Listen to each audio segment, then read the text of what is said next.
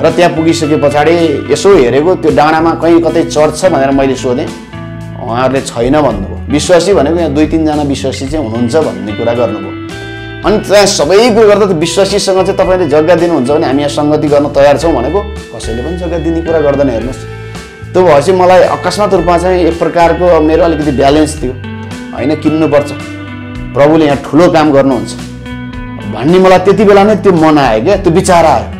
अनि भएपछि मैले चाहिँ त्यो बेलामा त्यो रात बाँडेर बाँडेर सिद्धाइसकेपछि मैले जग्गा किनिहालेँ। साढे छ आना जग्गा किनिहालेँ।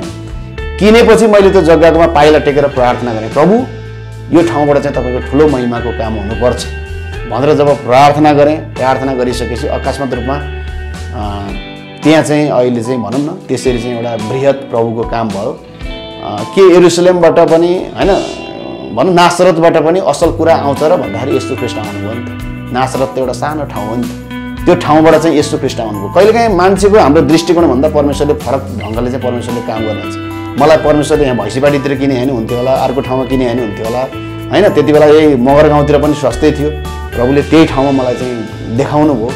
सायद परमेश्वरको विशेष योजना होला। र त्यो भवन बन्नु पनि त्यो पनि एउटा आश्चर्यकर्म। कहाँको कहाँको मान्छेले कसरी कसरी कुन तरिकाद्वारा प्रभुका जनले चाहिँ अस असल तरिकाले निर्माण गरेर होइन? त्यहाँ जुन भवन निर्माण हुन गएको छ पनि मिराकल्स नै छ कहिलेकाहीँ मैले एउटा अनुभव गरेको कुरा पनि काठमाडौँमा। काठमाडौँमा घरभित्र राम्रो घरभित्र चाहिँ तपाईँले यो मजदुरहरू कति भनौँ न कति एकदम ज्यालादारी काम गर्ने एकदम दुःखको साथ भनौँ न एकदम कति अब फोहोर महिलाहरूको बिचमा काम गर्ने यस्ता दुई तिनजना विश्वासीहरू हुनुहुन्थ्यो क्या हाम्रो। अनि इट्टा भट्टाका नि कतिजना विश्वासीहरू हुनुहुन्थ्यो। अनि उहाँहरूलाई मैले चर्चमा एक दिन ल्याएँ सँगै सङ्गति गर्नलाई। अब यतातिर आफ्नै घर भएका अलिकति सुकिला मुकिला विश्वासीहरूलाई पनि सँगै ल्याइयो। ल्याएपछि उसले उसलाई हेर्ने उसले उसलाई हेर्ने हुँदो रहेछ क्या अलिक अप्ठ्यारो महसुस हुँदो रहेछ।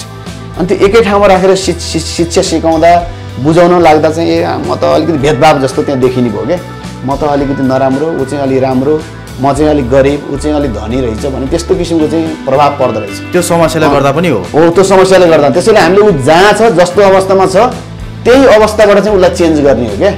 त्यही अवस्थाबाट चाहिँ हामीले परिवर्तन गर्ने हो। राउटे कहाँ जानलाई हामीले राउटे कहाँ नै बसेर चाहिँ त्यहीँ फेलोसिप गर्नुपर्छ। त्यस्तै हुनु पर्यो। त्यस्तै हुनु पर्यो। हाम्रो जीवनशैली सँगै बहदिने नाच्दिने उस्तै पऱ्यो केही समयको लागि उसकै संस्कारमा हामी घुलमिल हुने। हामी पनि बाँदर होइन बाँदर मार्दै हिँड्ने केही समयको लागि। केही समयको लागि हामी पनि राउटेको कल्चरलाई चाहिँ हामीले चाहिँ के अरे सिक्ने अँगाल्न पऱ्यो केही समय चाहिँ हामी ऊ जस्तै अलिकति भइनौँ भनेदेखि अनि उसले सहज रूपमा चाहिँ त हामी जस्तै मान्छे त रहेछ नि। भनेर उसले सहज रूपमा चाहिँ हामीलाई गर्न सक्छ स्वीकार्न सक्छ हाम्रो कुरालाई चाहिँ सुन्न सक्छ अनि यसोलाई चिन्नलाई गाह्रो छ। है? एउटा पैसै थिएन जम्मा छ सात हजार रुपियाँ थोरै मात्रै पैसा थियो। अब विवाह भव्य गर्न लागेको थिएँ। मेरो गाउँका सबै मानिसहरूलाई बोलाएर र मेरो ससुरालीका पनि सबै मान्छेहरूलाई बोलाउँदा करिब करिब हजारौँ मान्छेको चाहिँ ग्यादरिङ थियो। म अन्तिम कान्छो छोरो पनि गरेपछि व्यापक गरौँ एउटा सुसंरचन हुने एउटा माध्यम पनि हुन्छ भन्ने विचारले हाम्रो पास्टर रेशमराज पौडेल जो प्रभुमा सुत्नुभयो उहाँ जानुभएको थियो मेरो बिहे उहाँले दिनुभएको। अनि त्यसरी गएर चाहिँ हामीले एउटा सुसमाचार सुनाएर पनि त्यति बेला गऱ्यौँ। त्यो बेलामा अब त्यो त्रा मान्छेहरू थियो। बिहे गर्न लाग्दैछ हेर्नुहोस् रुपियाँ पैसा केही पनि थिएन। तर मैले चाहिँ अब के गरेँ भन्दा जम्मा तिन महिनाको समय मात्रै थियो। प्रार्थना गऱ्यौँ प्रभुसँग भरोसा राख्यौँ। अब जम्मा छ सात हजार भएको मान्छेलाई प्रभुले चाहिँ साढे दुई लाख रुपियाँ चाहिँ जुटाइदिनु भयो हेर्नुहोस् है बिहेको त्यो दिनसम्म आइपुगुन्जेलसम्म अब अरू बेला सहायता नदिने व्यक्तिहरू अरू बेला नबोल्ने व्यक्तिहरूले मद्दत नगर्ने व्यक्तिहरूले पनि मैले कसैलाई मानिसमाथि सेयरिङ गरेको पनि थिएन भनेको पनि थिएन प्रार्थना मात्रै गरिएको थियो। मेरो बिहे हुन लाग्दैछ हजुरलाई निमन्त्रणा छ बिहे गर्न लाग्दैछु प्रार्थना गरिदिनु होला विश्वासीहरूलाई त्यो भनेको थियो भने अब विश्वास नगर्ने होला मेरो बिहे हुँदैछ। तपाईँहरूको उपस्थितिले मेरो बिहेमा चाहिँ एउटा आशिष हुन्छ है हजुरहरूको आइदिनु पऱ्यो है भनेर त्यसरी भन्थेँ। भन्दै जाने क्रममा मलाई क्रिस्चियनले भन्दा नन क्रिस्चियनले चाहिँ बढी रुपियाँ पैसाहरू त्यति बेला दिनुभयो कि? त्यति बेला जुट्यो। त्यति बेला दुई तिन लाख रुपियाँ जुट्नु भने ठुलो र कुरो थियो। त्यसरी पनि एउटा मिराकल्स आश्चर्यकर्म भएको छ। अनि अर्को कुरो चाहिँ के छ त भन्दा सेवाकाईको दौडानमा पनि बच्चाहरू पाल्न तपाईँ कोभिडको बेलामा यही कोभिड कोरोनाको बेलामा कति गाह्रो भयो होइन? अब हामीलाई इन्कम सोर्स पनि सबै बन्द भयो चर्चहरू बन्द भएको कारणले गर्दा सबै बन्द भयो। जतिले सहायता गर्ने त्यो सहायता गर्ने मान्छेहरूले सहायता गर्न छोडे। तर यद्यपि हामीले प्रार्थना गर्न छोडेनौँ घुँडा टेक्न छोडेनौँ र अरू गरिब दुःखी मानिसहरूलाई सहायता गर्न छोडेनौँ र अन्तिममा प्रभुले चाहिँ हाम्रै घरमा पनि अपरिचित चिन्दै नचिनेको है कहाँको कहाँको मान्छे रोडमा चर्चमा गिटार बजाएर गीत गाएको सुनेर चर्चमा आएर चाहिँ सपोर्ट गर्ने मान्छे पनि प्रभुले जुटाउनु त्यो हजार होइन लाख रुपियाँ जुटाएर चाहिँ बिटे ल्याएर चाहिँ उहाँले दिएर पनि जानु पऱ्यो हेर्नुहोस् प्रभुको काम चाहिँ। दर्शकबिन स्वागत छ हजुरहरूलाई फेरि पनि चर्च टिपमा फेरि पनि आज हामी तपाईँहरूको माझ एकदमै प्रभावकारी गवाई लिएर आएका छौँ। हामीले अचेल निरन्तर गवाईहरू हालिरहेका छौँ र सायद अब हामी निरन्तर केही अग्रज पास्टरहरूका र अहिले नयाँ पिँढीका पास्टरहरू कसले चाहिँ परमेश्वरको सेवाकाई गरेर अगाडि बढिरहेका छन्। तिनीहरूलाई पनि निरन्तर च्यानलमा ल्याइरहेका छौँ। र तपाईँले आज हामीलाई देखिरहनु भएको छ एकजना नवजवान पास्टर हुनुहुन्छ हाम्रो माझ एकदम उदाहरणीय हुनुहुन्छ। एकदमै सफलता पा प्राप्त गर्नुभएको छ उहाँले आफ्नो सेवाकायमा। र उहाँ हुनुहुन्छ सिलोआम चर्चका संस्थापक र सिनियर पास्टर राजेश पन्तज्यू। आज हामी उहाँको गवाई सुन्नेछौँ। उहाँ सिनियर पास्टर भन्दै गर्दाखेरि तपाईँहरू अचम्मै नमान्योस् उहाँ वास वास्तवमा सिनियर पास्टरै हुनुहुन्छ। हजुरलाई स्वागत छ। हुन्छ जय मसी साथै नमस्कार विशेष गरिकन चर्च टिभी हेरेर बस्नुभएका स्वदेशमा रहनुभएका विदेशमा रहनुभएका आम दर्शकहरूको माझमा आज विशेष गरिकन केही कुराहरू मेरो सेवाकाईको दौडानमा मैले भोगेका अनुभव गरेका आशिष पाएका दुःख पाएका कुराहरूलाई समेटेर एउटा मेरो जीवन गवाई बताउन गइराखेको छु। एकदम म खुसी छु। धन्यवाद। तपाईँले दुःखको कुरा गर्नुभयो होइन? अब दुःखको कुरा गर्नुभन्दा अगाडि चाहिँ सेवाकाईको बारेमा कुरा गर्नुभन्दा अगाडि हामी जाउँ तपाईँको बाल्यकाल कसरी बित्यो? अथवा तपाईँले बाल्यकालदेखि क्रिस्टियसलाई कसरी पछ्याउन सक्नुभएको? जबकि यो बाल्यकालमा कतिले क्रिस्टियसलाई चिनेका पनि हुँदैनन्। हजुर। एकदमै महत्त्वपूर्ण प्रश्न सोध्नुभयो। तपाईँले जरादेखि जान चाहनुभयो। म चाहिँ गोर्खा जिल्लाको बक्राङ गाविस वडा नम्बर चार पन्त गाउँ र अहिलेको चाहिँ हाल सहिद लखन गाउँपालिका एकमा चाहिँ गोर्खामा चाहिँ मेरो जन्म भएको हो। बाल्यकाल मेरो जहाँसम्म भन्नुपर्दा एकदम दुःखदायी अवस्था थियो। मेरो गाउँमा बत्ती थिएन कुनै बाटोघाटो थिएन। जङ्गलै जङ्गलले घेरेको ठाउँमा दसवटा घर थियो र त्यो ठाउँलाई एउटा पन्त गाउँ भनिन्थ्यो। र एउटा साधारण एउटा सरकारी स्कुलमा पढ्न जाने घर फर्केर आउने र आमा बुवाको संरक्षणमा चाहिँ बस्ने एउटा डाँडा काँडामा नै अरू जसरी हुर्केँ म पनि त्यसरी नै एउटा हुर्किनपट्टि लागेँ हुर्केँ। त्यसो भए हजुरले प्रभु यशु क्रिस्टलाई कसरी चिन्नुभयो? तपाईँको बुवा आमा मार्फत चिन्नुभयो कि अथवा के हो यो? तपाईँ आफै प्रभु यशु क्रिस्टलाई चिन्नु भएको हो कि अथवा तपाईँलाई सुसमाचार कसैले सुनायो? एकदमै महत्त्वपूर्ण प्रश्न सोध्नुभयो। आजभन्दा तिसौँ वर्ष अगाडि जति बेलामा क्रिस्चियनहरू एउटा सीमित सङ्ख्यामा चाहिँ थिए गोर्खामा अथवा नेपालमै भनौँ त्यति बेला मेरो गाउँमा मेरो एरियामा ठाउँमा चाहिँ विश्वासी एकजना पनि थिएन। मण्डली पनि थिएन। विशेष गरी मनकामना एरिया भोगटेनी एरिया भन्छ त्यता बक्राङ एरियातिर। अब त्यहाँ धेरै गाउँहरू छ धेरै क्षेत्रहरू छ। त्यहाँ मण्डली पनि केही पनि थिएन। अनि त्यति बेला चाहिँ विशेष गरिकन मेरो परिवारमा अ, येशू ख्रिस्टलाई विश्वास गर्नुपर्ने मुख्य कारण चाहिँ म भन्दा नि मेरो बुबा र आमाले विश्वास गरेपछि नि हामी परिवारले चाहिँ विश्वास गर्नुपर्ने अवस्था आयो। यो पनि एक प्रकारको रोचक नै छ। जस्तो अब एउटा बालकलाई पनि एउटा किशोरलाई पनि परमेश्वर साँचो हो भनेर चिन्न गाह्रो हुन्छ। तर तपाईँले तपाईँको बुवा आमामा परमेश्वरले केही अलौकिक काम गर्नुभएको बापत तपाईँले चाहिँ विश्वास गरेको जस्तो लाग्छ। त्यो पाटो बताउन सक्नुहुन्छ तपाईँले? अवश्य पनि थोमसजी। विशेष गरिकन म मैले जुन कुरा चाहिँ अनुभव गर्न सकेँ प्रत्यक्ष मेरो घर परिवारमा देखेँ तपाईँलाई मेरो बारेमा अलिकति परिचय गराउनु पर्दा गोर्खाको चाहिँ मेरो हजुरबुवाले चाहिँ दुई मुरी महेन्द्रका पालाका त्रिभुवनका पालाका पैसा पुगेर धुरीबाट उहाँले कराउनु भएको रे अ, उहाँले जब कराउनु भयो त्यस पछाडि गोर्खाकै अर्को साउ बजारमा भएको साउले पनि त्यसरी नै कराउनु भयो। कराउँदाखेरि चाहिँ के देखियो भन्दा त्यति बेला चाहिँ दुबईको पैसा एक ठाउँमा ल्याएर कलेक् कलेक्सन गरेर चाहिँ त्यहाँ जम्मा गरेर गन्ने बेलामा चाहिँ मेरो हजुरबुवाले चाहिँ मेरो बुवाको बुवाले चाहिँ जित्नुभयो। बढी उहाँको चाहिँ प्रपर्टी पैसा देखियो। त्यस पछाडि चाहिँ उहाँलाई साउ कान्छा साउ भनेर चाहिँ घोषणा गरिएको रहेछ पहिला एउटा इतिहास चाहिँ। त्यस पछाडि अहिले पनि हाम्रो जग्गा जमिन गोर्खामा गएर हेर्छौँ भनेदेखि करिब हामी सबैको मेरो हजुरबाको भनौँ न अहिले हामी भागभन्डा पनि गरेका छैनौँ छोराहरू छौँ। करिब करिब डेढ सयदेखि दुई सय रोपनी जग्गा अहिले पनि छ तर गाउँको पहाडको जग्गा हो। त्यस पछाडि एक एक त अब फेरि उपाध्याय बाहुनको। मेरो हजुरबुवा चाहिँ फेरि पण्डित पनि हो खुङ्खार पण्डित पनि हो। आमाको मेरो मामा घरपट्टिको हजुरबुवा पनि पण्डित हो। यता बुबाको घरतिरको पनि के हो त भन्दा उहाँ पण्डितै हुनुहुन्थ्यो। हाम्रो दुइटै हजुरबा चाहिँ पण्डित हुन्थ्यो। अब म एउटा पन्त होइन उपाध्याय बाहुन भन्छन्। यस्तो व्यक्ति त्यत्तिकै सरल रूपमा सहज रूपमा आउने कुरो त थिएन। तर त्यति बेला के भयो त भन्दा मेरो बुवा बिमारीको कारण नै हो महत्त्वपूर्ण महत्त्वपूर्ण कारण चाहिँ। त्यति बेला हस्पिटल भनेको सीमित सङ्ख्यामा थियो। मान्छेहरू बिमारी भयो भने धामी झाँक्री कहाँ फुक्ने कहाँ भन्छन्। त्यस पछाडि मठ मन्दिरतिर लगेर भाकल दिने कुराहरू हो।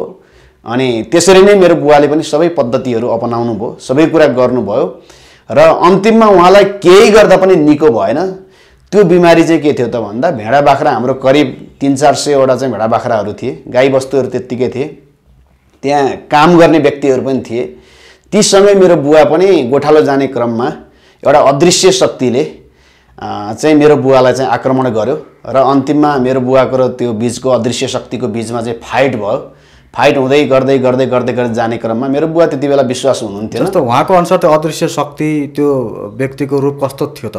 त्यो बताउन सक्नुहुन्छ अँ तपाईँले एकदम जायज भन्नुभयो। मेरो बुवाले भनेअनुसार मैले सुनेअनुसार चाहिँ अरू गाउँ समाजका अरू मान्छेले भनेअनुसार मेरो बुवाले सुनाएअनुसार त्यो कस्तो थियो अरे भन्दा तिनजना व्यक्ति चाहिँ खडा भयो अरे क्या जब उहाँ बाह्र बजेको समय थियो मध्याहको समय थियो अहिले पनि गाउँघरतिर चाहिँ हामी सानसाना बच्चाहरूलाई चाहिँ घर नजिकै गाड्ने चलन छ। घर नजिकैको जङ्गलमा भनेदेखि ठुला मानिसलाई चाहिँ लगेर चाहिँ पोल्ने च भनौँ न दफन गर्ने चलन छ लगेर चाहिँ गर्ने अलिक खोलामा लाने नदीमा लाने चलन छ।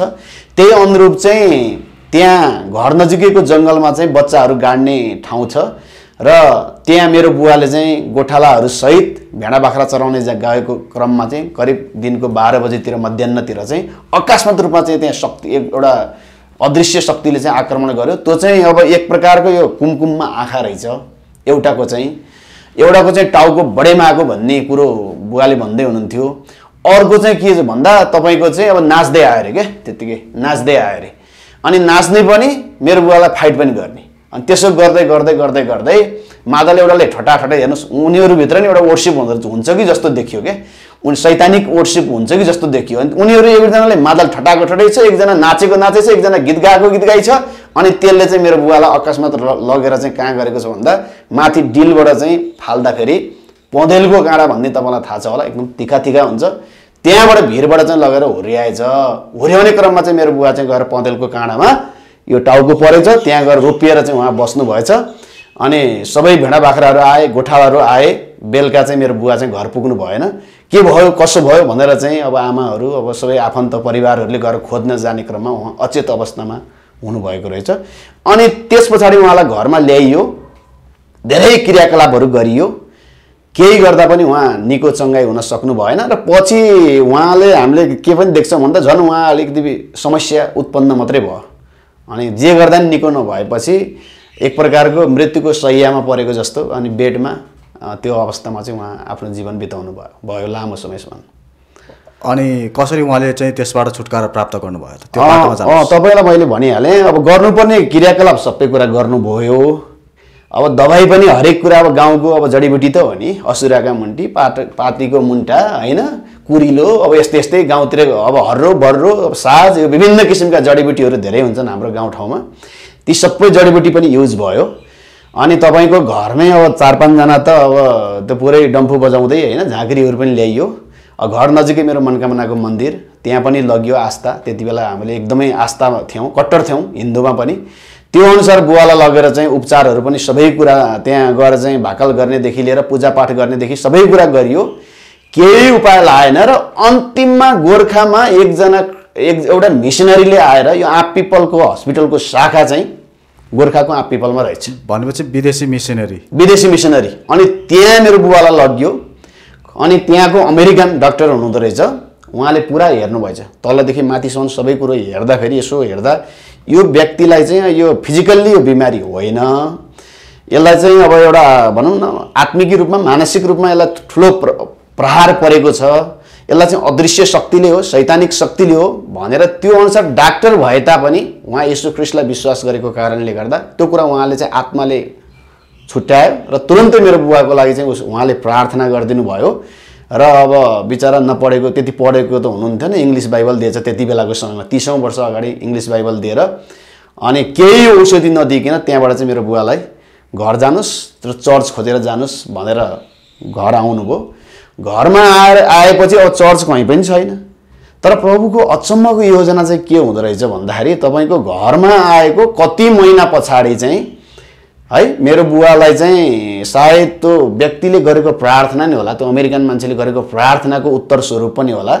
एकजना गोर्खाको चर्चको पास्टर तामाङ पास्टरलाई त्यहाँबाट चाहिँ के गर्नुभयो त प्रभुले खटाउनु भयो उहाँहरू चाहिँ तामाङ पास्टरको नाम बताइदिनु। उहाँ शक्ति मण्डलीको पनि हुनुहुन्छ सायद अब मैले प्रेम पनि हुनुहुन्छ उहाँको नाम। अर्को कुरो चाहिँ हाम्रो कालीबहादुर तामाङहरूसँग वीरबहादुर तामाङहरू जो चाहिँ गोर्खाको एकदमै पुरानो इतिहास बोकेका पास्टरहरू हुनुहुन्छ।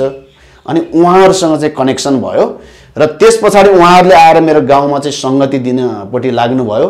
अनि मेरो बुवाको लागि प्रार्थना गर्नुभयो सुसमाचार सुनाउनु भयो अब उहाँहरूको उद्देश्य नै कसरी हुन्छ? आत्मा जित्ने थियो र त्यही मौका उहाँहरूले पाउनुभयो र त्यस पछाडि आएर निरन्तर प्रत्येक हप्ता सालघारीको साढे दुई घन्टाको बाटो हिँडेर आएर चाहिँ मेरो गाउँमा आएर चाहिँ उहाँहरूले प्रार्थना गर्ने सङ्गति गर्ने गाईको गोठमा है घरमा राखेर चाहिँ सङ्गति गर्दै गर्दै गर्दै गर्दै गइसके पछाडि अन्तिममा मेरो बुवालाई बिस्तारै बिस्तारै निको हुँदै गयो र त्यसबाट चाहिँ त्यो डेबिली स्पिरिटबाट चाहिँ सैद्धान्तिक शक्तिबाट चाहिँ उहाँले छुटकारा पाउनुभयो पूर्ण रूपमा पछि त्यसपछि हजुरको सम्पूर्ण परिवारले विश्वास गर्नुभयो।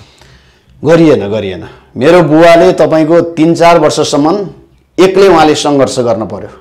अब त्यो अवधिमा विश्वास गरेपछि थुप्रै चुनौतीहरू आयो। किन भन्दा अब तिस पच्चिस तिस वर्ष अगाडि तिस वर्ष अगाडिको कुरो भनेको चाहन्छु नि होइन नि आजभन्दा अगाडि?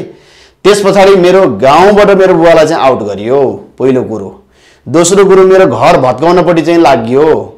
तेस्रो कुरो चाहिँ झुट्टो आरोपमा मेरो बुवालाई चाहिँ झ्यालखानामा चाहिँ होइन जनयुद्धको ताका माओवादी र आर्मीको चाहिँ गोर्खा जिल्ला तपाईँलाई थाहा छ एकदम फाइट गर्ने है त्यति बेला द्वन्द्व चर्केको बेलामा चाहिँ मेरो बुवालाई चाहिँ मेरो आफ्नै आफन्तले चाहिँ झुट्टो आरोप लगाएर माओवादीलाई पाल्ने माओवादीका हात हतियारहरू राख्ने र यो घर परिवार चाहिँ पुरै माओवादी हुन् र सुरागी हुन् भन्ने त्यस्तो किसिमको चाहिँ ऊ आरोप लगाएर चाहिँ मेरो बुवालाई अन्तिममा के गर्यो भन्दा तपाईँको रातिको आठ नौ बजेको समयमा घरमा चाहिँ आर्मी सशस्त्रहरू आएर प्रहरीहरू आएर चाहिँ उहाँलाई हतकडी लगाएर पुरै यो टोपी पनि तपाईँको यहाँसम्म कालो पुरै लगाएर लगाइदिएर हतकडी लगाएर त्यस पछाडि हाम्रो घरमा पुरै त्यो धानको भकारीदेखि मकैको कुन्योदेखि लिएर पुरै तितर बितर पारेर अनि मेरो बुवालाई चाहिँ त्यस पछाडि गोर्खाको झ्यालखानामा पनि राखियो उहाँलाई।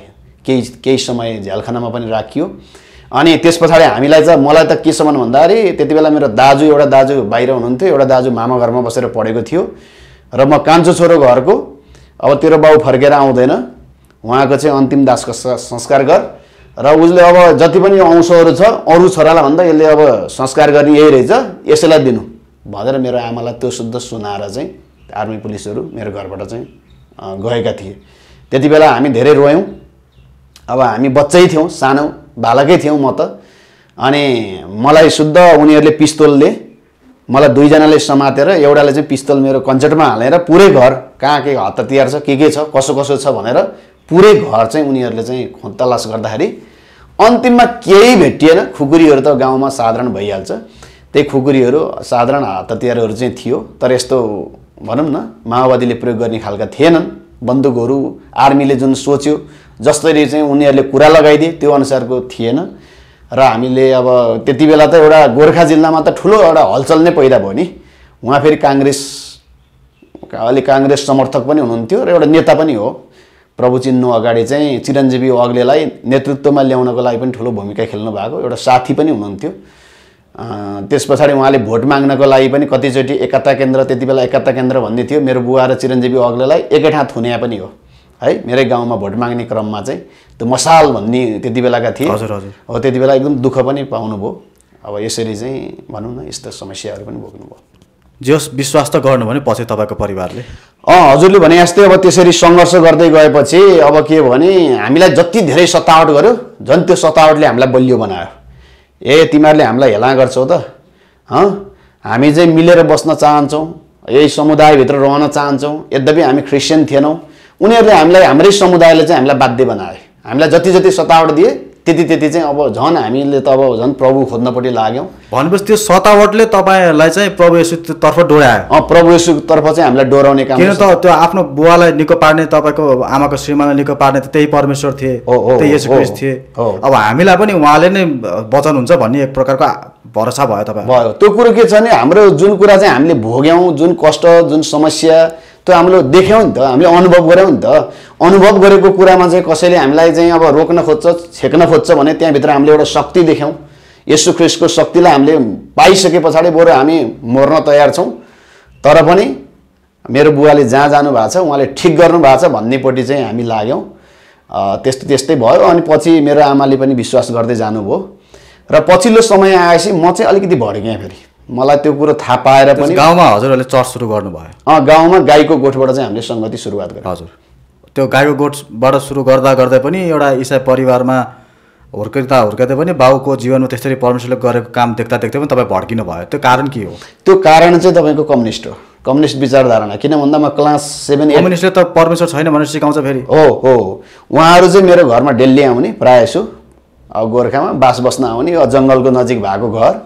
अनि उनीहरू आउने प्रशिक्षण दिने। अब त्यो हामी अब तपाईँको चौध तेह्र चौध वर्षको उमेर एउटा कलिलो उमेर जता लड्कायो त्यतै लड्किने बेलाको उमेर। त्यहाँ जान पाइन्छ नेता बन्न पाइन्छ भोलि गएर यस्तो हुन्छ त्यस्तो हुन्छ भनेर उहाँहरूले ठुल्ठुला कुराहरू चाहिँ भनिदिनु भयो अनि जसको कारणले गर्दा म चाहिँ कति समय माओवादीमा पनि गएँ। कति समयमा गएँ र गइसकेपछि म अन्त्यमा यो धर्म कर्म सबै व्यर्थ हो। यो भगवान् नै छैन ईश्वर पनि छैन।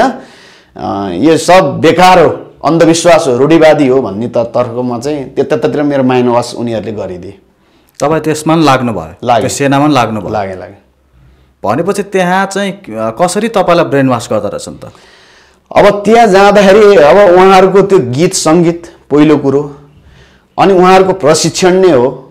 कन्भिन्स गर्ने चाहिँ उहाँहरूको एकदमै तौर तरिका छ क्या अनि उहाँहरूले चाहिँ अर्को कुरो चाहिँ के हो त भन्दा अब हामी आफ्नो लागि भन्दा नि हामी देशको लागि चाहिँ जिउनुपर्छ। मान्छे एक दिन जन्मन्छ सबै मर्छ तर हामी मर्छौँ भने पनि देशको लागि मर्छौँ भने हामी अमर रहन्छौँ। यस्तै यस्तै किसिमको तपाईँको त्यो प्रशिक्षण एक दिन दुई दिन तिन दिन यसरी हिँड्दै गयौँ कि? अब जाने क्रममा अनेरा सहयोग क्रान्तिकारीको चाहिँ अब स्कुलको चाहिँ उपाध्यक्ष हुने कहिले? कहिले प्रशिक्षणको लागि पल्लो गाउँमा पुऱ्याउने कहिले हल्लो गाउँमा पुऱ्याउने कहिले जिल्लामा पुऱ्याउने। अब अब फेरि त्यति बेला अब पढ्न पनि त्यति मन नलाग्ने। अनि टिचरको अगाडि पनि टिचरले अरू टिचरले पिट्थ्यो भने नेता भएपछि चाहिँ नपिट्ने क्या टिचरले पनि? सम्मान गर्ने फेरि टिचरहरूले पनि यसलाई चाहिँ तलमाथि गऱ्यो भने हामीलाई नै खतरा छ भन्ने लाग्दो रहेछ कि हो। टिचरले पनि एकदम आदर गर्ने। अनि त्यो कारणले गर्दा अब त्यो बाल मनस्थितिमा त्यतातिर मोडियो भनौँ न एउटा कति वर्षको हुनुहुन्थ्यो लगभग त्यति बेला? तेह्र चौध वर्ष। तेह्र चौधको बच्चोलाई त्यस्ता व्यक्तिहरूले ब्रेन वास गरेर त्यो विश्वास गुमाउन समेत तुल्याइदियो।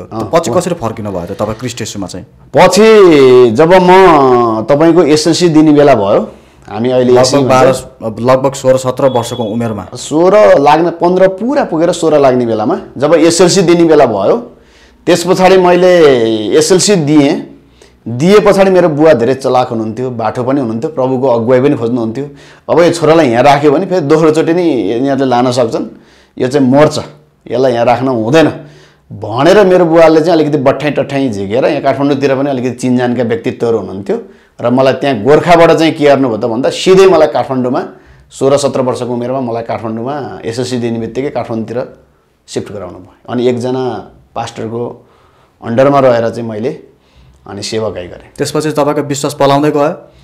त्यहाँ आएको करिब करिब तिन चार महिनासम्म त म त्यति बुझेको पनि थिइनँ। मलाई आजको दिन धन्यवाद यसु ईश्वरको राज पहिले खोजी गर।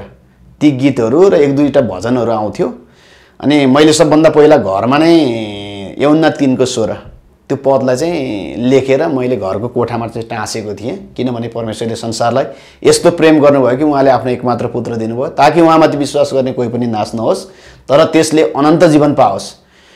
भन्ने त्यो भर्स चाहिँ मलाई कण्ठ थियो धेरै कुरा मलाई थाहा थिएन। म एउटा चर्चमा आएर त्यहाँ बसेँ र त्यो चर्चको पास्टर पनि नेपाली हुनुहुन्थेन। उहाँ विदेशी नै हुनुहुन्थ्यो। उहाँलाई पनि त्यति नेपाली भाषा आउँथेन। अनि त्यहीँ रहेर चाहिँ मैले करिब एक वर्ष जति समय बिताएँ।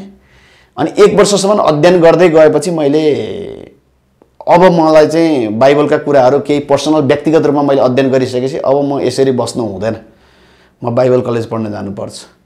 यहाँभित्र के छ त?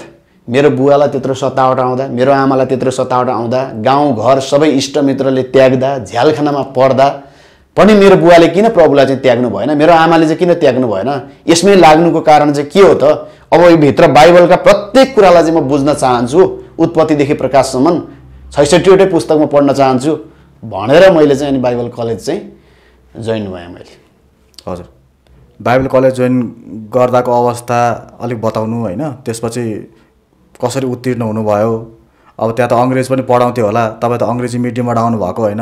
यो चाहिँ एउटा बाइबल कलेज जान चाहने कुनै एउटा नव विद्यार्थीलाई उत्साह पनि हुन्छ। त्यति बेला म मैले भनिहालेँ उस्तै परे वर्षमा दुई तिनवटा कापी भए पुग्ने पढ्नको लागि। खुट्टामा अब खासै जुत्ता हुन्थेन चप्पल हुन्थेन गाउँघरतिर। एउटा हाफ प्यान्ट लाएर साधारण सर्ट लाएर गाउँमा जाने हातमा किताब बोकेर हाम्रो पालामा झोला पनि थिएन। अनि त्यसरी स्कुल जाने स्कुलबाट फर्केर आउने व्यक्तिलाई अब त्यति बेला इङ्ग्लिस पढाउने टिचरलाई नै उस्तै परे इङ्ग्लिस पढाउनै गाह्रो हुन्थ्यो गाउँमा। सबै विषय नेपालीमा पढाउँथ्यो ऊ इङ्ग्लिस पनि नेपालीमा पढाउनु पर्ने हुन्थ्यो। किनकि बुझ्दै बुझ्थेनन् होइन। अनि त्यसरी आइयो आइसके पछाडि अन्तिममा बाइबल कलेजमा पढ्न जाने बेलामा त्यो चाहिँ समस्या थियो तर पनि एसएलसी पास भएपछि चाहिँ पढ्न पाउने त्यति बेला चलन थियो। अनि मैले चाहिँ मौकामा अब टिचरहरूले नि बुझ्नुभयो। किन भन्दा नेपालमा क्रिस्चियनको सङ्ख्या पनि त्यति बेला धेरै थिएन। चर्चहरूको सङ्ख्या पनि कमै थियो। बाइबल कलेजमा फेरि पढ्ने विद्यार्थीहरू पनि पाउनलाई एकदम गाह्रो थियो। अनि यसरी पढ्न आउँछु भन्ने व्यक्तिलाई इङ्ग्लिस नेपाली दुइटैमा उल्था गर्दै गर्दै हामीले पढाउनु पर्छ बुझाउनु पर्छ ल्याङ्ग्वेज हो भाषा हो। आएर सिकाउँदै गएपछि सिक्दै जान्छ भन्ने उद्देश्यले चाहिँ सर्टिफिकेट र मेरो जीवन गवाई यी सबै कुराहरू दिएपछि मलाई सहज रूपमा चाहिँ पढ्ने वातावरण। त्यति बेला इपिटिएस भन्छन् इभान्जेलिकल प्रेसबेटेरियन थियोलोजिकल सेमिनरीमा चाहिँ म जोइन भएँ। पास्टर चाहिँ कहिले र कसरी हुनुभयो त तपाईँ? तपाईँलाई परमेश्वरले बोलाएको अनुभव गर्नुभयो कि के हो त? यसमा अचानक कसरी तपाईँले चाहिँ एकदम महत्त्वपूर्ण कुरा तपाईँले ल्याउनु भयो। जब मैले बाइबल कलेज पढेर पूर्ण रूपमा सिद्ध्याएँ सिद्ध्याइसके पछाडि मैले के बुझेँ भन्दाखेरि के कुरो बुझेँ भन्दाखेरि अब प्रभुले चाहिँ मलाई त्यो अवस्थाबाट यो अवस्थामा चाहिँ मलाई ल्याउनु भयो यसरी म काठमाडौँमा आएँ बाइबल कलेज पढ्ने मौका पनि मैले पाएँ। र मसँगै गएका मेरा जुन लिडरहरू छन् उनीहरू पनि मरे माओवादीका। है कति लिडरहरूको पनि मृत्यु भयो। अगाडि चाहिँ शोषक सामन्ती फटा दुष्ट पापीलाई चाहिँ खत्तम पार्छु भनेर हिँड्यो नि त। र धर्मी असल राम्रा व्यक्तिहरू मात्रै बस्नुपर्छ खराबलाई चाहिँ सिद्ध्याउने भनेर हिँड्यो नि त। अब चाहिँ मलाई पछि बाइबल पढ्दै जाँदा चाहिँ के आयो भन्दाखेरि अब मार्ने होइन तर बचाउने सेवाकाई गर्नुपर्छ। हामीले मान्छे चाहिँ परमेश्वरको स्वरूपमा सृष्टि भएको चाहिँ व्यक्ति प्राणी रहेछ। सबैभन्दा सर्वश्रेष्ठ रहेछ। परमेश्वरको आफ्नै स्वरूपमा बनिएको व्यक्तिलाई चाहिँ हामीले हत्या हिंसा गर्नु हुँदो रहेछ।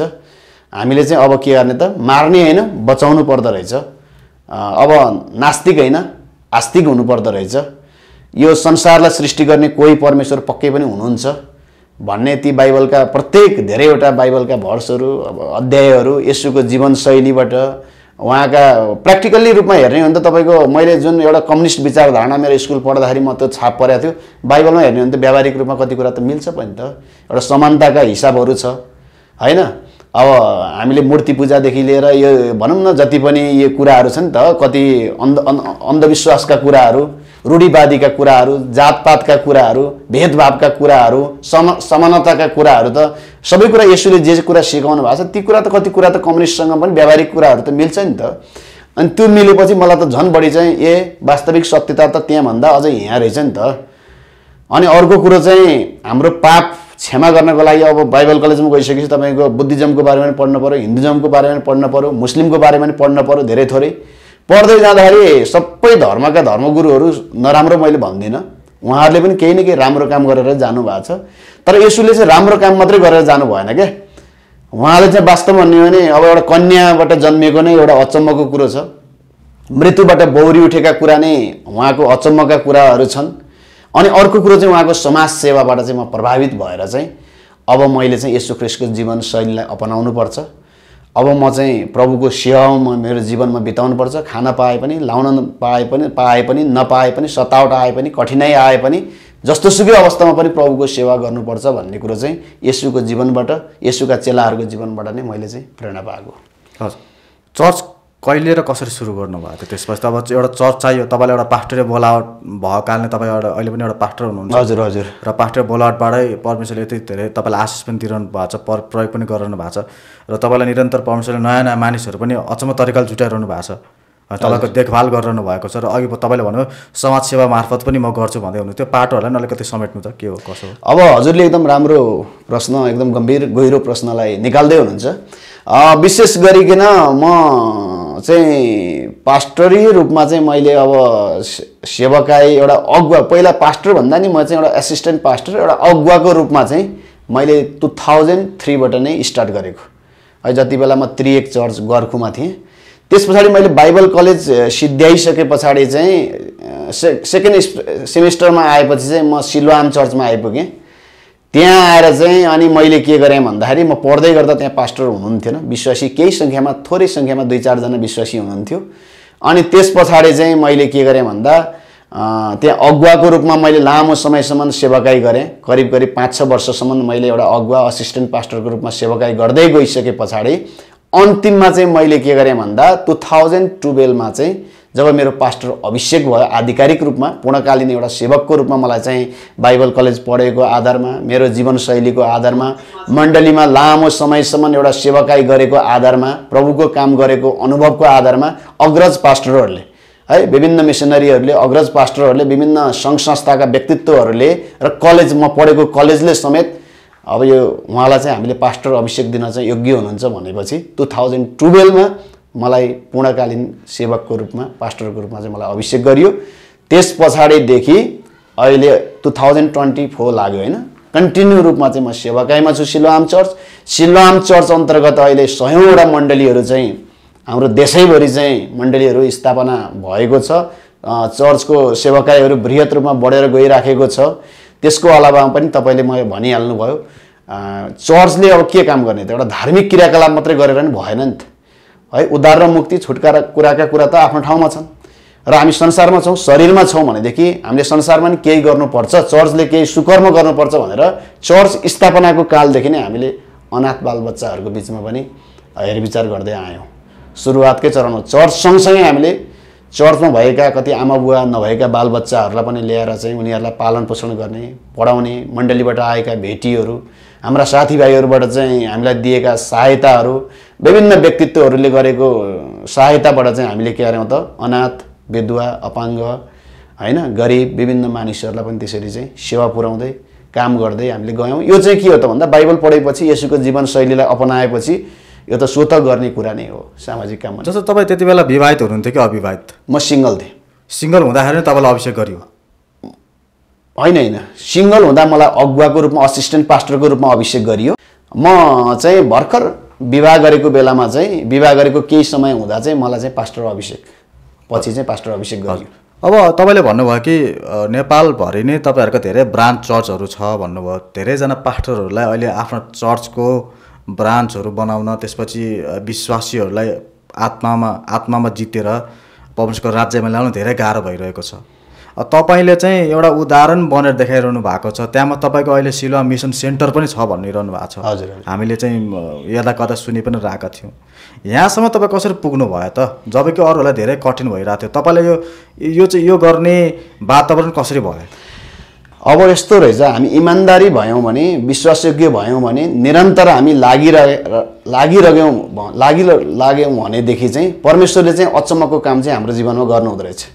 हामीले कहिले पनि मान्छे खोज्दै म आफू कहिले पनि दौडिँदै हिँडिनँ। ती मान्छेहरूले चाहिँ मलाई खोज्दै आए क्या। जब काम देख्छन् भनेदेखि मान्छेले जब हाम्रो सुकर्म देख्छन् भनेदेखि मान्छेहरू हामीसँग चाहिँ जोडिँदै आउँछन्।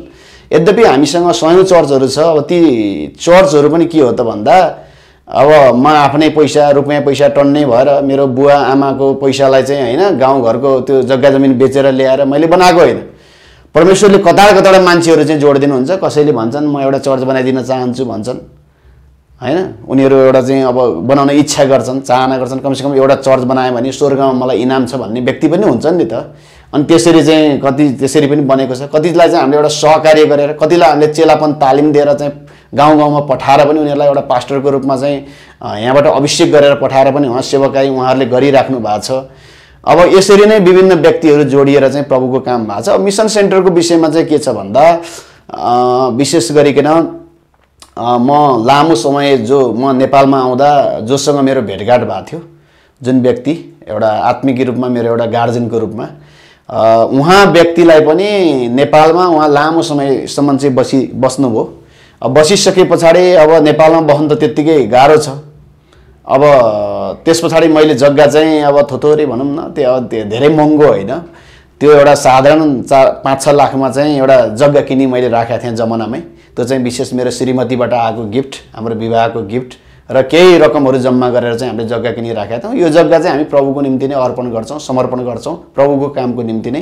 एउटा पास्टर हो सेवाकाई गर्ने व्यक्ति हो भोलि हुन पनि सक्छ नहुन पनि सक्छ। भएको बेलामा चाहिँ किनिहालौँ ताकि भविष्यमा हामीले केही गर्न सकौँ भन्ने उद्देश्यले हामी सस्तो हुँदाखेरि जग्गा किन्यौँ।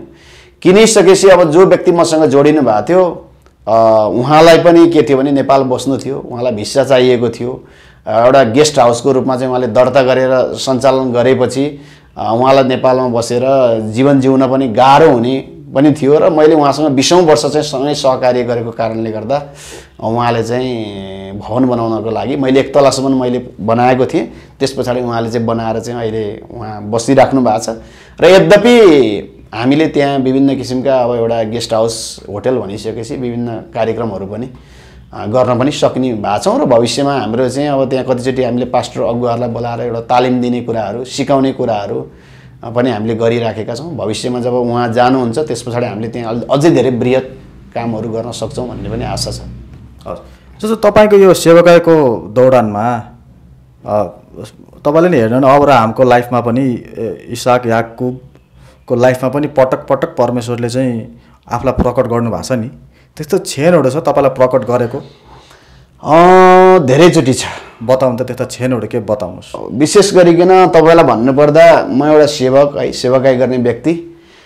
जब मेरो विवाह गर्नुपर्ने स्थिति भयो त्योभन्दा अगाडि त त्यही अहिले भवनको विषय नै म चकित परेको छु। किन भन्दा त्यो गाउँमा चाहिँ पूर्ण रूपमा भूकम्पले चाहिँ ध्वस्त बनाएको थियो डुकु छापको जल्खु भन्ने ठाउँ। त्यहाँ एउटै घर पनि थिएन। त्यहाँ भूकम्पले पुरै भत्काएर तहस नहस पारेको अवस्थामा त्यो ठाउँमा चाहिँ मलाई कताडा कताडा कसले मलाई सुनायो? म जस्ताको पाता जस्ता र चामल लिएर चाहिँ म त्यो गाउँमा राहतको लागि चाहिँ हामी गयौँ। चर्चबाट केही भेटीहरू कलेक्सन गरेर केही साथीहरू आफूले चिनेका साथीहरूलाई लिएर हामी त्यो ठाउँमा चाहिँ बाँड्न गयौँ। गइसके पछाडि अनि एकदमै गाह्रो साथ हामी त्यहाँ पुग्यौँ। बाटो पनि एकदम गोरेटो बाटो साधारण थियो। र त्यहाँ पुगिसके पछाडि यसो हेरेको त्यो डाँडामा कहीँ कतै चर्च छ भनेर मैले सोधेँ। उहाँहरूले छैन भन्नुभयो। विश्वासी भनेको यहाँ दुई तिनजना विश्वासी चाहिँ हुनुहुन्छ भन्ने कुरा गर्नुभयो। अनि त्यहाँ सबै कुरो गर्दा त विश्वासीसँग चाहिँ तपाईँले जग्गा दिनुहुन्छ भने हामी यहाँ सङ्गति गर्न तयार छौँ भनेको कसैले पनि जग्गा दिने कुरा गर्दैन हेर्नुहोस्। त्यो भएपछि मलाई अकस्मात रूपमा चाहिँ एक प्रकारको मेरो अलिकति ब्यालेन्स थियो। होइन किन्नुपर्छ। प्रभुले यहाँ ठुलो काम गर्नुहुन्छ। भन्ने मलाई त्यति बेला नै त्यो मन आयो क्या त्यो विचार आयो। अनि भएपछि मैले चाहिँ त्यो बेलामा त्यो रात बाँडेर बाँडेर सिद्धाइसकेपछि मैले जग्गा किनिहालेँ। साढे छ आना जग्गा किनिहालेँ। किनेपछि मैले त्यो जग्गाकोमा पाइला टेकेर प्रार्थना गरेँ प्रभु यो ठाउँबाट चाहिँ तपाईँको ठुलो महिमाको काम हुनुपर्छ। भनेर जब प्रार्थना गरेँ प्रार्थना गरिसकेपछि अकस्मात रूपमा त्यहाँ चाहिँ अहिले चाहिँ भनौँ न त्यसरी चाहिँ एउटा बृहत प्रभुको काम भयो। के एरुसलेमबाट पनि होइन भनौँ नासरतबाट पनि असल कुरा आउँछ र भन्दाखेरि यस्तो ख्रिस्ट आउनुभयो नि त। नासरत त एउटा सानो ठाउँ हो नि त। त्यो ठाउँबाट चाहिँ यस्तो ख्रिस्ट आउनुभयो। कहिलेकाहीँ मान्छेको हाम्रो दृष्टिकोणभन्दा परमेश्वरले फरक ढङ्गले चाहिँ परमेश्वरले काम गर्नुहुन्छ। मलाई परमेश्वरले यहाँ भैँसीपाटीतिर किने होइन हुन्थ्यो होला अर्को ठाउँमा किने होइन हुन्थ्यो होला। होइन त्यति बेला यही मगर गाउँतिर पनि सस्तै थियो। प्रभुले त्यही ठाउँमा मलाई चाहिँ देखाउनु भयो सायद परमेश्वरको विशेष योजना होला। र त्यो भवन बन्नु पनि त्यो पनि एउटा आश्चर्यकर्म। कहाँको कहाँको मान्छेले कसरी कसरी कुन तरिकाद्वारा प्रभुका जनले चाहिँ अस असल तरिकाले निर्माण गरेर होइन? त्यहाँ जुन भवन निर्माण हुन गएको छ यो पनि मिराकल्स नै छ। र अर्को कुरो चाहिँ के हो त भन्दा म यो बच्चाहरूको विषयमा पनि म छक्क परेको छु। मङ्गल बजारमा कृष्ण मन्दिरको वरिपरि मागेर हिँड्ने। कसरी अनाथ आश्रम सुरुवात भयो कसरी होस्टेल सुरुवात भयो भन्दाखेरि कृष्ण मन्दिरको वरिपरि मागेर हिँड्ने बच्चा। जुन बच्चालाई आफ्नो घर परिवारको बारेमा थाहा छैन ऊ कपाल झिङ्रिङ्ग पालेको छ कपडा पनि फोहोर छ अनि सबै मान्छेहरूले धर्म कर्मका साथ हिँड्थे मन्दिरमा गएर विभिन्न ठाउँमा गएर भेटीघाटी त्यहाँ थुप्रै दानहरू उनीहरूले चढाउँथे। तर त्यो बच्चा र्याल काटेर चाहिँ साइडमा बसिराखेको थियो। कुकुरले कुकुर बाहेक उसको साथी कोही पनि थिएन। त्यस्तो बिजोको अवस्थामा चाहिँ त्यो बच्चा थियो। अनि त्यो बच्चालाई हामीले सुसमाचार सुनाउँदै जाँदा त्यति बेला भनेको तपाईँको जहाँ गएर पनि सुसमाचार सुनाउन पाइने बेला थियो। स्वतन्त्रता थियो। अनि हामी कृष्ण मन्दिरमा पनि जान्थ्यौँ विभिन्न ठाउँमा पुग्थ्यौँ। जाने क्रममा त्यो बच्चालाई देख्यौँ। देखेपछि त्यो बच्चालाई चाहिँ हामीले के गऱ्यौँ त भन्दा घरमा लिएर आयौँ घरमा लिएर आएर चर्चमा लिएर आयौँ आइसकेपछि उसलाई कपाल काटिदियौँ नुहाइधुवाइ गऱ्यौँ सफा सुग्घर गऱ्यौँ बच्चा बिस्तारै बोल्न थाल्यो मान्छे पनि राम्रो हुन थाल्यो उसको घर परिवारको बारेमा सोधेको अङ्कल मैले त मेरो बुवाको बारेमा पनि थाहा छैन मेरो आमाको बारेमा पनि थाहा छैन। अब के आयो त बाबु तिमी भनेको? होइन अङ्कल म त यहीँ चर्चमै बस्छु नि भन्यो। अब त्यो भनेपछि त अब फेरि छोडिदियो भने त ऊ फेरि त्यही पाराको हुन्छ। अनि त्यस पछाडि हामीले उसलाई चर्चमै राखेर एक हजार रुपियाँ खानाको लागि चाहिँ भेटीबाट छुट्याएर अनि त्यस पछाडि चाहिँ उसको पछि इतिहास बोध्दै जाँदा द्वन्द्वकालमा चाहिँ उसको बाउलाई आर्मीद्वारा चाहिँ मारेको रहेछ माओवादीको भएर। अनि त्यस पछाडि त्यो बच्चालाई हामीले पालिसके पछाडि अनि पछि हामीसँग हाम्रा साथीभाइ जोडिँदै जाँदाखेरि उसको जब हामीले बारेमा बतायौँ सेयरिङ गऱ्यौँ त्यति बेला ओहो नेपालमा त जनयुद्धताका त्यसरी धेरै मान्छेहरूको मृत्यु भएको छ बाढी पहिरोबाट चाहिँ मृत्यु भएको छ विभिन्न कारणबाट चाहिँ अभिभावकविहीन बालबच्चाहरू भइराखेका छन्। कमसेकम त्यस्ता बालबच्चाहरूलाई ल्याएर चाहिँ चर्चले सेवा गर्यो भने राम्रै हुन्छ भन्ने विचारले चाहिँ त्यो बच्चाको प्रेरणाबाट चाहिँ हामीले यसरी बालगृह सञ्चालन गर्दै आयौँ। अहिले बिसौँ वर्ष भयो त्यो कामलाई हामीले निरन्तर सुरुवात पनि गर्दै गयौँ बच्चा कहाँ छ त अहिले? त्यो बच्चा अहिले ठुलो भएर नि बिहेबारी गरेर पनि विदेशमा गएको छ। अहिले विदेशमा छ? विदेशमा छ। विश्वासी नै भएको छ अहिले? विश्वसनीय हो। हजुर। अब सेवाकाईको दौडानमा त्यो भयो एउटा बिल्डिङको कुरा गर्नु एउटा समाजसेवाको। अरू कुनै एउटा पाटो छ जहाँ परमेश्वरले तपाईँलाई फेरि शक्ति प्रकट गर्नुभयो। कुनै मान्छे पठाएर अथवा केही गरेर हुन्छ नि त। हामी हामी। धेरैचोटि के हुँदो रहेछ भने प्रभुको प्रभुले हाम्रो जीवनमा यदि हामी विश्वासमा बाइफेत जीवन जिएर चाहिँ हामी हिँड्छौँ भने हाम्रो देखिने कुरामा होइन नदेखिने अदृश्य कुरालाई चाहिँ विचार गरेर हामी हिँड्छौँ भने परमेश्वरले तपाईँलाई मलाई दिनदिनै नयाँ नयाँ अनुभव गर्ने मौका चाहिँ परमेश्वरले दिनुहुँदो रहेछ।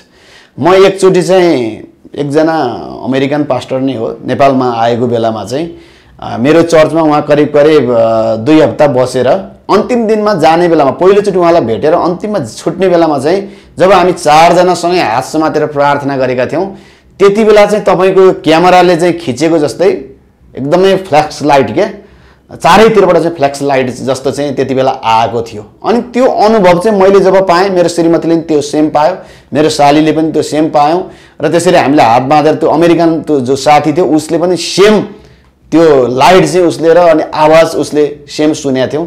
अनि त्यति बेला पनि परमेश्वर सायद हामीसँग चाहिँ प्रसन्न हुनुहुन्छ। हामीले गर्दै गरेको सेवाकाईमा चाहिँ उहाँ चाहिँ एक प्रकारको भन्ने हो भने आत्मिक व्यक्तित्व हुनुहुन्थ्यो अगमबाडीको सेवाकाईहरू पनि उहाँले गर्नुहुन्थ्यो।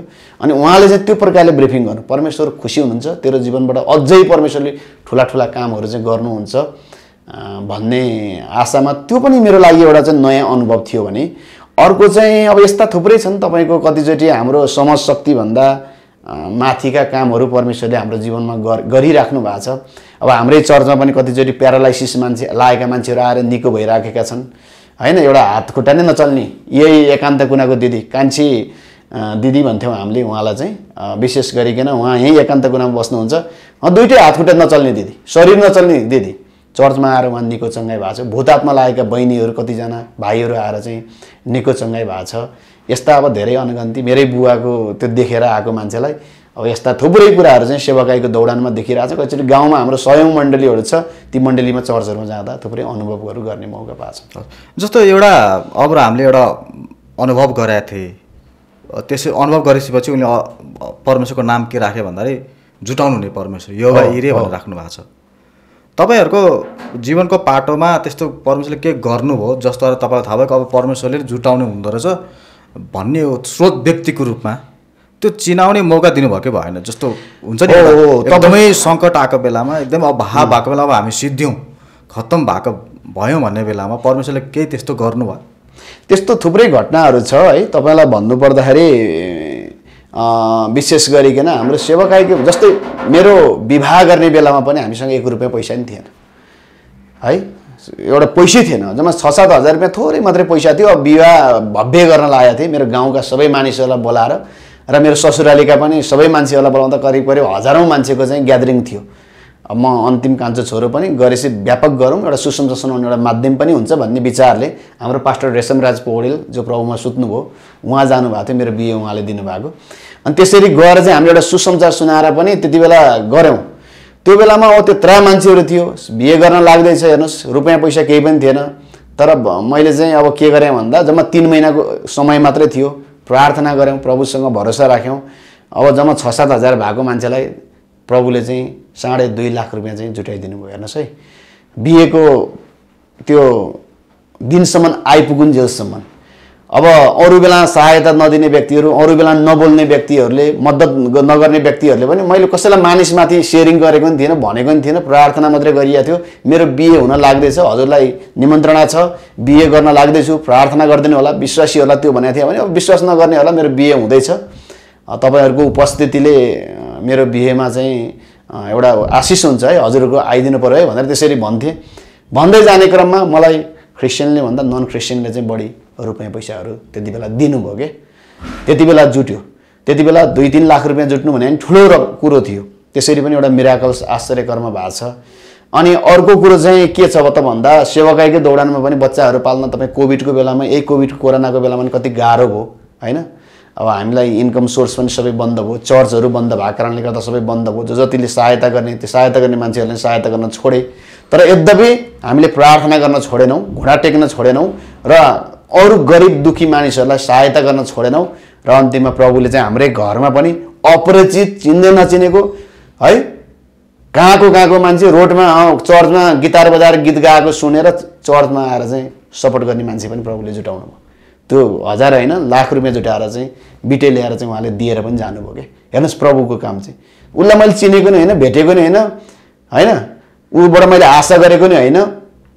तर प्रभुले यो ठाउँमा चाहिँ खाँचो छ भनेपछि रोडमा चाहिँ उसले सुनेछ गीत गाएको सुनेर चाहिँ त्यो मान्छेले आएर पहिलो दिन आएर चेक गर्यो हेऱ्यो दोस्रोचोटि दोस्रो दिन आएर चाहिँ म खाना खाना आउँछु मेरो लागि नि खाना पकायो भन्यो।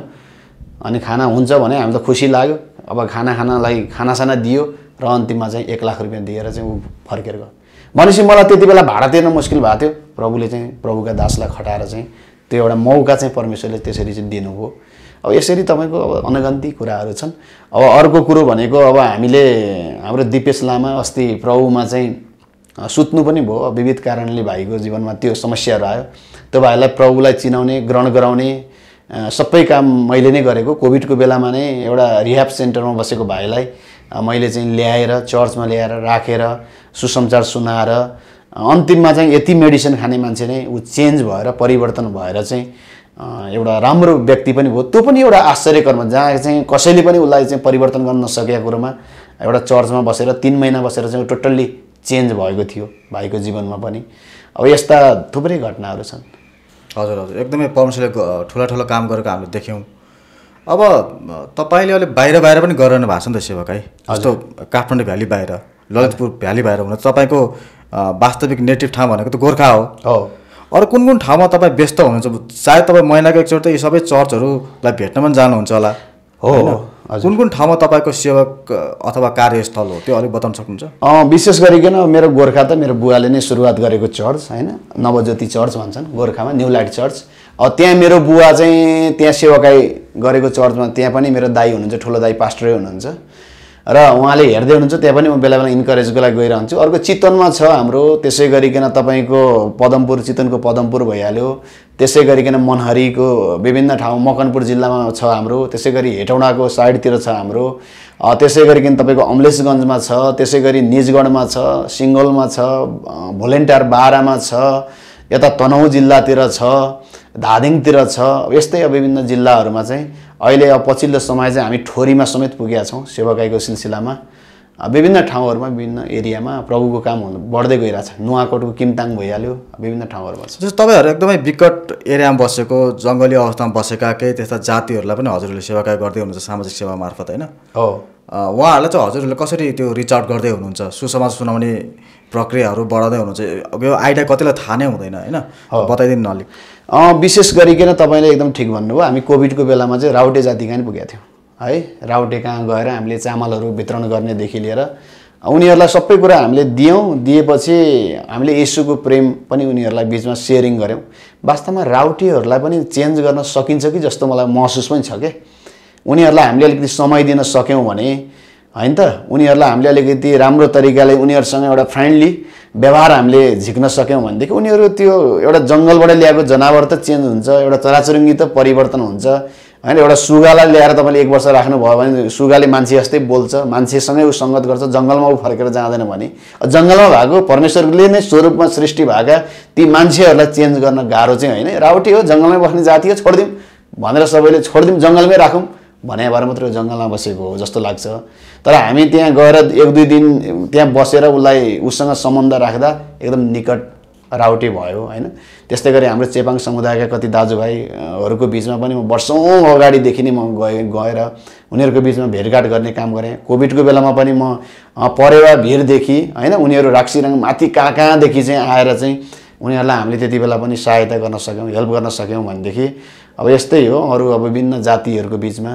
विभिन्न व्यक्तिहरूको बिचमा पहरी जातिहरूदेखि लिएर अरू थुप्रै व्यक्तिहरूको बिचमा पनि गएर चाहिँ सेवकाई गर्ने मौका चाहिँ प्रभुले दिनुभएको छ। जस्तो यो अहिले कुरा गर्दै गर्दाखेरि अलिकति विकट ठाउँमा बस्ने जङ्गली अवस्थामा बस्ने र जङ्गलबाट अलिक बाहिर आएका मानिसहरूको पनि कुरा छ। अब यो चेपाङ जातिलाई भन्दैन राउटे जातिको लागि चाहिँ अलिकति गाह्रो भइरहेछ सुसमाचार पुग्नको लागि अथवा त्यहाँ मान्छे जाँदा जाँदा पनि प्रचार गर्दा गर्दा पनि उहाँहरूले चाहिँ बुझ्न नसक्नु कारण के हो? त्यस्तो केही पत्ता लगाउनु भएको छ तपाईँले? उनीहरूलाई कस्तो भयो भने उनीहरूलाई बानी नै त्यही भइदियो क्या तपाईँले के हुन्छ भने अब एकदम राम्रो घरमा चाहिँ सधैँभरि अब त्यो भनौँ न फो एउटा ट्रस्टमा फोहोर ठाउँमा बसिराखेको व्यक्तिलाई कहिलेकाहीँ मैले एउटा अनुभव गरेको कुरा पनि काठमाडौँमा। काठमाडौँमा घरभित्र राम्रो घरभित्र चाहिँ तपाईँले मजदुरहरू कति भनौँ न कति एकदम ज्यालादारी काम गर्ने एकदम दुःखको साथ भनौँ न एकदम कति अब फोहोर महिलाहरूको बिचमा काम गर्ने त्यस्ता दुई तिनजना विश्वासीहरू हुनुहुन्थ्यो क्या हाम्रो। अनि इट्टा भट्टाका नि कतिजना विश्वासीहरू हुनुहुन्थ्यो। अनि उहाँहरूलाई मैले चर्चमा एक दिन ल्याएँ सँगै सङ्गति गर्नलाई अब यतातिर आफ्नै घर भएका अलिकति सुकिला मुकिला विश्वासीहरूलाई पनि सँगै ल्याइयो ल्याएपछि उसले उसलाई हेर्ने उसले उसलाई हेर्ने हुँदो रहेछ क्या अलिक अप्ठ्यारो महसुस हुँदो रहेछ। अनि त्यो एकै ठाउँमा राखेर शिक- शिक- शिक्षा सिकाउँदा बुझाउन लाग्दा चाहिँ ए म त अलिकति भेदभाव जस्तो त्यहाँ देखिने भयो क्या। म त अलिकति नराम्रो ऊ चाहिँ अलिक राम्रो म चाहिँ अलिक गरिब ऊ चाहिँ अलिक धनी रहेछ भने त्यस्तो किसिमको चाहिँ प्रभाव पर्दो रहेछ। त्यो समस्याले गर्दा पनि हो। हो त्यो समस्याले गर्दा। त्यसैले हामीले ऊ जहाँ छ जस्तो अवस्थामा छ त्यही अवस्थाबाट चाहिँ उसलाई चेन्ज गर्ने हो क्या। त्यही अवस्थाबाट चाहिँ हामीले परिवर्तन गर्ने हो। राउटे कहाँ जानलाई हामीले राउटे कहाँ नै बसेर चाहिँ त्यही फेलोसिप गर्नुपर्छ। त्यस्तै हुनु पर्यो त्यस्तै हुनु पर्यो। हाम्रो जीवनशैली सँगै बहदिने नाच्दिने उस्तै पऱ्यो केही समयको लागि उसकै संस्कारमा हामी घुलमिल हुने हामी पनि बाँदर होइन बाँदर मार्दै हिँड्ने केही समयको लागि। केही समयको लागि हामी पनि राउटेको कल्चरलाई चाहिँ हामीले चाहिँ के भने सिक्ने अँगाल्न पऱ्यो केही समय चाहिँ हामी ऊ जस्तै अलिकति भइदियौँ भनेदेखि अनि उसले सहज रूपमा चाहिँ हामी जस्तै मान्छे त रहेछ नि भनेर उसले सहज रूपमा चाहिँ हामीलाई के गर्न सक्छ स्वीकार्न सक्छ हाम्रो कुरालाई चाहिँ सुन्न सक्छ अनि यसोलाई चिन्नलाई गाह्रो छैन नत्र भने एक कचोटि मान्छे आफै पनि बाधा भइदिँदो रहेछ होइन त? आफै पनि बाधा। सेवकहरू आफै बाधा भइदिँदो रहेछन् भन्ने कुरा तपाईँले प्रकट गर्नुभयो। त्यहाँ राउटेका जाँदाखेरि तपाईँले महँगो गाडी लिएर महँगो लुगा लगाएर टाई फाइका साथ क्यामेरा बोकेर जान्ने होइन क्या? ठुल्ठुला क्यामेरा बोकेर त्यहाँ पुरै अर्कै पाराले गइदियो भने त राउटे डराइहाल्छ। हुन् अप्ठ्यारो हुन्छ उसलाई। तर अब हामीले कस्तो बनाउनु भएन भने राउटेलाई खालि मागेर मात्रै खाने खालको बानी हामीले बनाउनु भएन। अहिले कति युट्युबरहरू कति अरू कति हाम्रा साथीहरू पनि हाम्रा मानिसहरू पनि जाने आउने अलिअलि पैसा दिने अलिअलि चामल दिने अनि फर्किने आउने मात्रै भयो। उपलब्धि केही पनि भएन। हातमा लागि सुन्ने भयो। राउटे झन् हामीले दिएका चिजहरू टन्न खाने बस्ने रक्सी खाने दारू खाने अनि सुत्ने मात्रै काम गर्यो अहिले बिग्रियो राउटे पनि। त्यसै कारणले गर्दा हामीले सुधार्नको लागि चाहिँ त्यहीँ बसेर एक दिन हामी कोदालो खनौँ न बरु। उसलाई पैसा दिन्छौँ भने एकछिन काम गराएर दिउँ क्या फोकटै एक किन हामी त्यत्तिकै दिने उसलाई?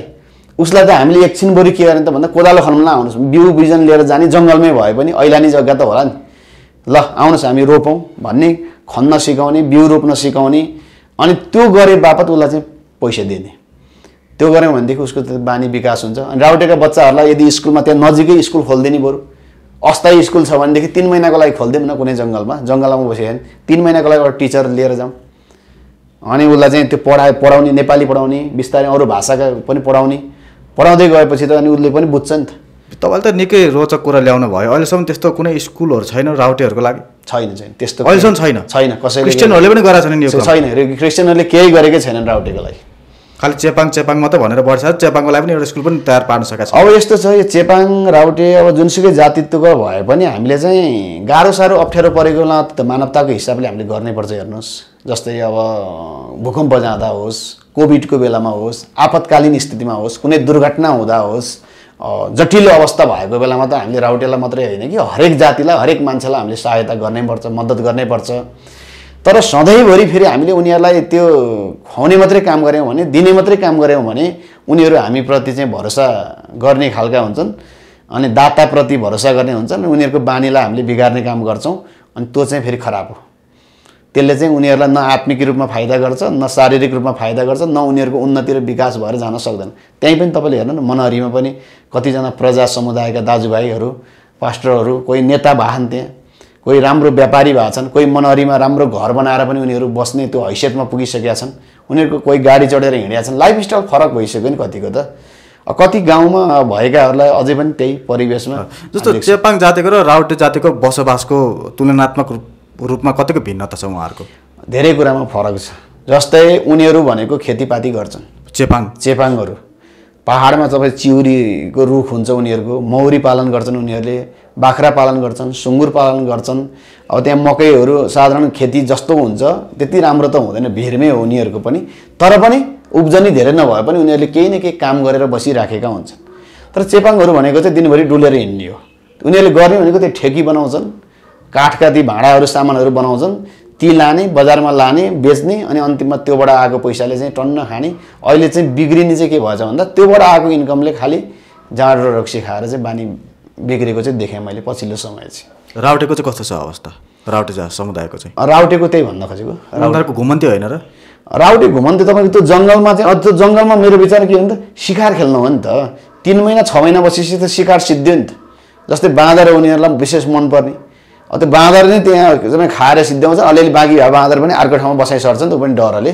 चराचुरुङ्गीहरू जम्मै खाएर सिद्धिन्छ। त्यहाँ भएका कन्थमुलहरू गिट गिट्ठा भ्याकुरदेखि लिएर सबै कुरा चाहिँ सिद्धिएपछि अनि उनीहरूलाई फेरि त्यहाँ बसिसकेपछि बाहिरी प्रभावले पनि उनीहरूलाई असर पार्छ। त्यहाँ कोलाहाल हुनेदेखि लिएर राउटेलाई हेर्न जाऊँ भन्नेदेखि लिएर त्यहाँ अनेक अनेक भिडियो खिचिदिने अनेक अनेक गरेर त्यहाँ अप्ठ्यारो डिस्टर्ब बनाउँछन् क्या। उनीहरू नेचरसँग रमाउने मान्छेलाई त्यहाँ बाधा पुग्छ अनि पुगिसकेपछि उनीहरू त्यो ठाउँबाट फेरि अर्को ठाउँमा चाहिँ उनीहरू गएर नयाँ जङ्गलमा चाहिँ उनीहरू पुग्छन् फेरि नयाँ ठाउँ ए भनेपछि आधुनिक तरिकाले जिउन चाहिरहेको मान्छेको लागि उहाँहरू एउटा अनौठो व्यक्तिहरू पनि भइदिए र। उनीहरूको त्यो व्यवहारले गर्दाखेरि त्यो समुदायलाई गाह्रो भइरहेछ भन्ने कुरा बुझिरहेका छैन त्यही हो। वास्तवमा भने परमेश्वरले हरेकलाई हेरविचार गर्नुहुन्छ कि? उनीहरू जङ्गलमा भए पनि प्रभुले केही न केही त उनीहरूको लागि त जुटाइराख्नु भएको छ नि त। हामी यहाँ सहरमा बस्नेहरूलाई दिनका दिन काम गर्नुपर्छ मिहिनेत गर्नुपर्छ परिश्रम गर्नुपर्छ र पनि हामी चिन्ता र फिक्री बोझसहित बसेका छौँ। उनीहरू जङ्गलमा पुगे तापनि अहिले पछिल्लो समय पो राउटेलाई गएर हामीले सहायता गरौँ यो गरौँ त्यो गरौँ भनेर हामी दौडिन्छौँ जान्छौँ। विभिन्न व्यक्तिहरू त्यहाँ पुग्यान्। त्योभन्दा अगाडि त राउटे कुसुन्डा विभिन्न यी जातिहरू त उनीहरू आफै सेल्फ रूपमा चाहिँ जङ्गलमै बसे तापनि प्रभुले त जुटाउनु भएको थियो नि त। उनीहरूको लागि तपाईँको बाँदर जुट्यो होइन जनावर विभिन्न जनावरहरू जुट्यो। उनीहरूलाई विभिन्न जङ्गलमा पाउने जडीबुटीहरू उनीहरूको लागि जुट्यो। विभिन्न सागहरू भेजिटेब जति पनि हुन्छन् जङ्गलको सागहरू उनीहरूले खान्छन्। माछाहरू उनीहरूले त्यहाँ मार्न पाए खोलाहरूमा गएर। विभिन्न कुराहरू खाएर त उनीहरू एकदम हेल्दी थिए नि त। तर पछिल्लो समयमा जङ्गल मासिँदैछ होइन? विभिन्न किसिमका जङ्गली जनावरहरू पनि अब विभिन्न मान मानवको बस्ती घनघोर भएको कारणले गर्दा ती पनि अब हराउँदै गइरहेछ। जसको कारणले उनीहरूलाई अहिले सङ्कटमा छन् राउटे समुदाय पनि। हजुर। एकदमै तपाईँसँग एकदम रोचक कुराकानी गर्न सकियौँ र हामी तपाईँलाई धन्यवाद दिन चाहन्छौँ। अन्तिममा जाँदा जाँदै तपाईँले आफ्नो परिवारको बारेमा केही बताइदिनुहोस्। तपाईँको चाहिँ परिवारमा कतिजना छन्? तपाईँको श्रीमती कत हुनुहुन्छ? बालबच्चा कतिको क्लासमा पढ्दैछन्? विश्वासीहरू कतिजना छन् हजुरको चर्चमा? यति बताएर हजुरले आजको हाम्रो यो बसाइलाई अन्त गर्न सक्नुहुन्छ। हुन्छ विशेष गरिकन हामीले जसरी एउटा भनौँ न मेरो केही गवाईहरू बताउने आज चाहना थियो तर कुरा गर्दै जाँदा कुरा विभिन्न ठाउँमा पुग्यो किनकि अब यो धेरै छन् है अनगन्ती छन् प्रभुले गर्नुभएका कामहरू। त्यो कारणले गर्दाखेरि विशेष गरिकन म मेरो श्रीमती र मेरो एउटा छोरा एउटा छोरी र त्यो अलावा पनि हामीसँग केही बालबालिकाहरू हामीसँग छन् अनि हामी यसरी चाहिँ मिलिजुली बसेका छौँ भैँसीपाटी ललितपुरमा। अनि हाम्रो चर्चको नाम चाहिँ सिलोआम चर्चमा म एउटा सिनियर पास्टरको रूपमा सेवाकाई गरिराखेको छु। र त्यसै गरिकन मैले अघि नै भने त्यसको अलावा पनि हामी विभिन्न ठाउँहरूमा सेवा सङ्गति चर्चहरू हाम्रो देशैभरि विभिन्न ठाउँमा चाहिँ सेवा सङ्गति हामीले गरिराखेका छौँ। र अर्को कुरो सामाजिक काममा पनि म आफू चाहिँ एक्टिभ छु।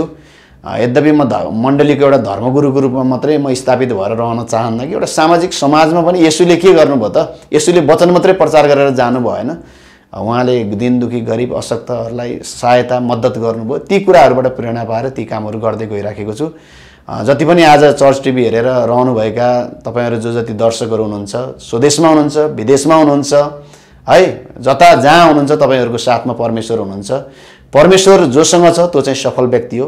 परमेश्वर जोसँग छैन त्यो चाहिँ असफल व्यक्ति हो। यदि परमेश्वर तपाईँसँग छ भने तपाईँको दुःख कष्ट अभाव समस्या कठिनाइमा पनि नडराउनु होला कहिलेकाहीँ परमेश्वरले हामीलाई अभावको बाटोबाट भएर समस्याको बाटोबाट भएर लगेर नै उहाँको महिमा चाहिँ हामीलाई देखाउने हो अचम्मको काम देखाउने हो। यदि मेरो जीवनमा हिजोको दिनमा मैले सङ्घर्ष नगरेको भए ती कठिनाइहरू मैले नभोगेको भए सतावटहरू मैले नभोगेको भए अभाव र खाँचोबाट म नगुज्रिएको भएदेखि आज यसरी चाहिँ यो चर्च टिभीको चाहिँ स्टुडियोमा आएर यसरी तपाईँहरूको बिचमा अगाडि म यसरी बोल्न सक्ने थिइनँ। र यसरी साथ साथ मैले बोलेको छु। जे कुरो मेरो जीवनमा घटिया छ त्यो मध्येका केही कुराहरू मैले आज तपाईँलाई बताउन सकेँ। र तपाईँहरूलाई परमेश्वर सबैजनालाई चाहिँ आशिष दिनुभएको छ। मलाई मेरो परिवार र मैले गर्दै आएको सेवाकालाई पनि तपाईँहरूले प्रार्थना गरिदिनु होला। हस्त जय मसी जय मसी